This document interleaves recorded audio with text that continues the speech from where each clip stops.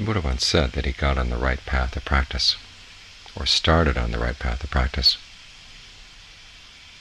when he learned to observe his thinking,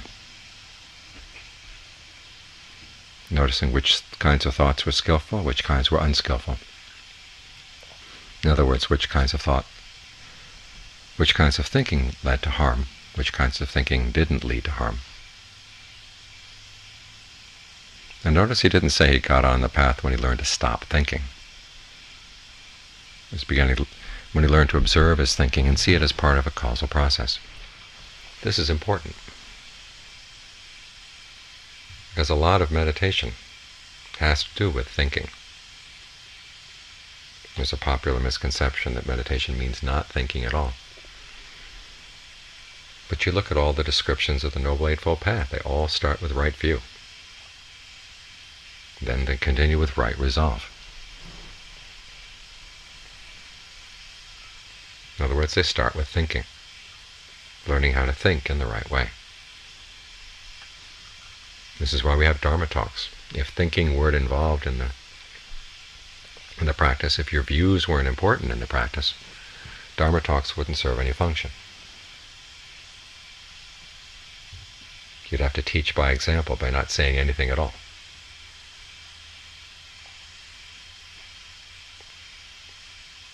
But it doesn't work that way. It doesn't work that way. You have to learn how to think in the right way as you come to meditation. This is a thinking cure. In psychotherapy, they talk about talking cures. And they note how amazing it is. It's sometimes simply talking over a neurosis can disband it, getting it out in the open, being very clear about what the presuppositions behind it were, and it loses its power.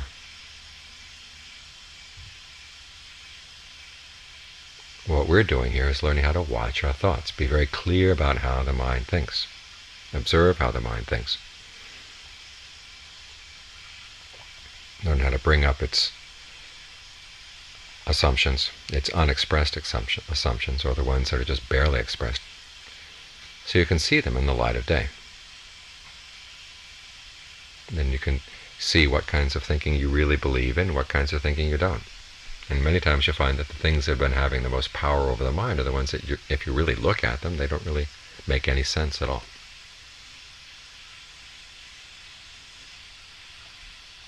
So it's important as you meditate that you have a sense of the, the role and the power of thinking in the meditation. For example, as we're doing breath meditation, trying to get the mind to settle down with the breath, get concentrated on the breath. As the Buddha said, every state of concentration depends on a perception, a mental label that you create, a little message that you create for yourself in the mind that you can then carry from one moment to the next, that you can remember, that you can be mindful of. You hear that message is breath. So what is your concept of the breath? How do you relate to it? We talk about forcing the breath. But the breath isn't the sort of thing you can force. You can force the blood to different parts of your body, and that's oftentimes what we do when we think we're moving the breath around in the body. We're simply changing the way the blood circulates.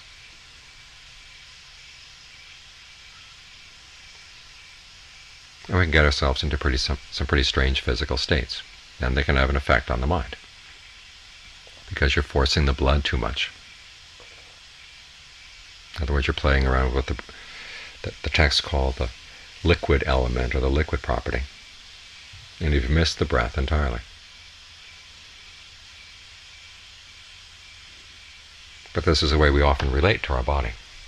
An emotion comes up and a lot of the physical side of the motion has to do with the fact that our blood circulation is changed.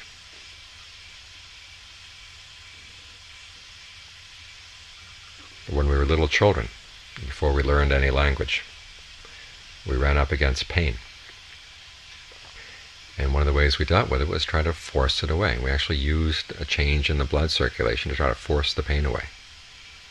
And that became our instinctive way of relating to the body. Force the blood, force the circulation. This is why so much of the language or the imagery of psychotherapy is in hydraulic mechanics.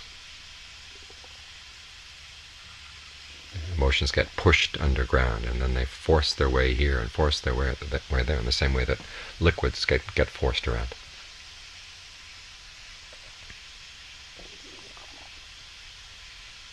But as a meditator, you've got to realize there are other ways of relating to the energy in the body.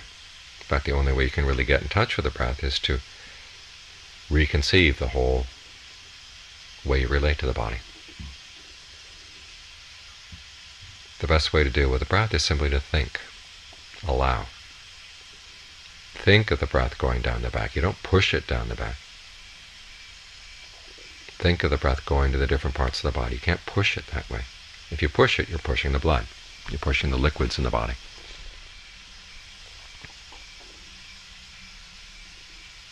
All you can do is just think, open up, open up. Keep your wrists relaxed, keep your ankles relaxed. All your joints, keep them relaxed. Think, okay, opening up passages where, by which the breath can flow. Now you can't make the breath flow. It's something it's going to do on its own once you've opened the channels.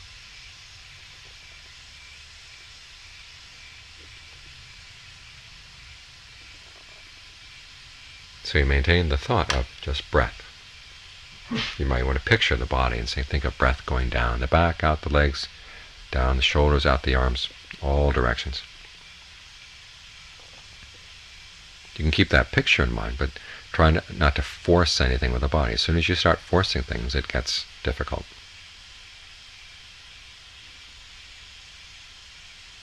This is part of the thinking cure, getting a new conception of the breath, learning to hold on to it.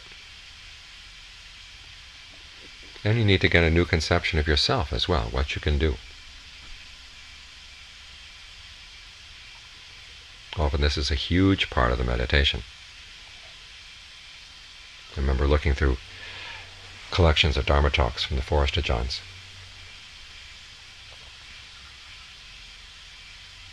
And this applies to all of them. There's so much of it is not in explaining things, it's in encouraging.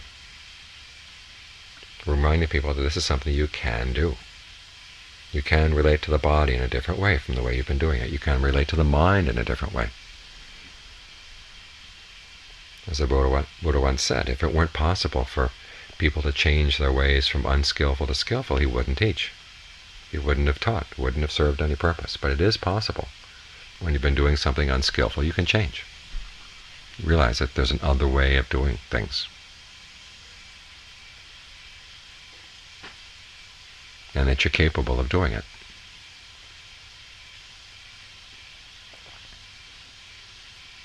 It requires a certain amount of imagination. That's the beginning of any change in your behavior. It's just allowing yourself to imagine that you can change the way you behave. That's another part of the thinking cure.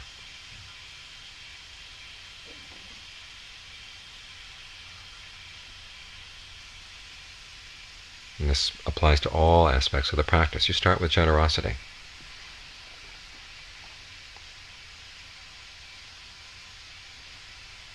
When you make up your mind to give a gift, you're imagining yourself as someone with something to spare. Up to that point, you may have been thinking that you're hungry and lacking, and all you could think about was gaining, gaining, gaining, getting, getting, getting.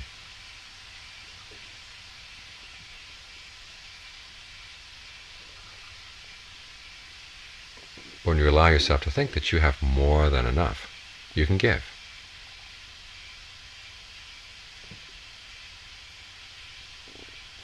And you begin to realize it has very little to do with how much you may have materially. Poor people can often be more generous than rich people because their idea of enough is different. It's simply a change in your thinking. And you put yourself in a new place, a place of more dignity, a place of more inner worth. The gift of forgiveness is the same sort of thing. Someone else has harmed you, and if all you can think about is how much you're a victim of them, you make yourself a smaller person. But if you're large hearted enough to forgive, you suddenly become a larger person.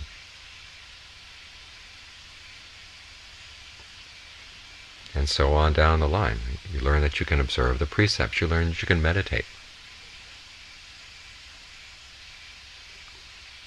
Simply by changing the way you think about yourself and your capabilities.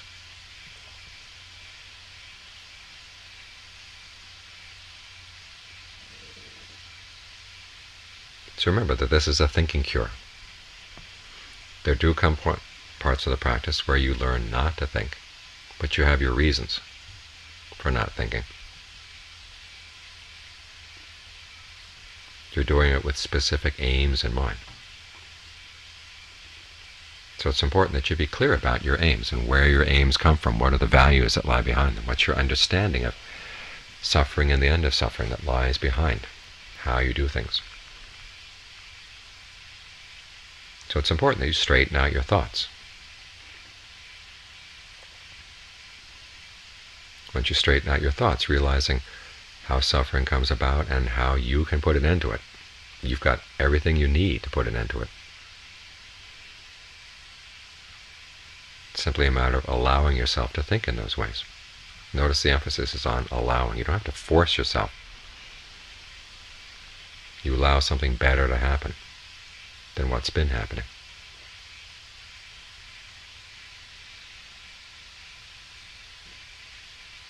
Ajaan Fuang once said that if we could force our way into nirvana, everybody would have been there a long time ago.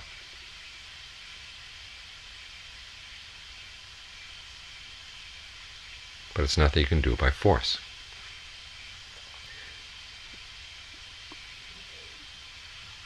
You ultimately get there only through discernment. And discernment starts with learning how to think in the right way.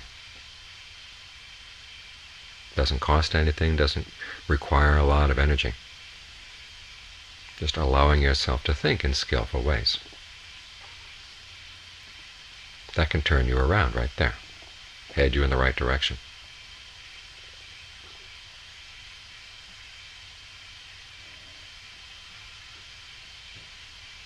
So before you stop thinking, learn how to think in ways that are really helpful.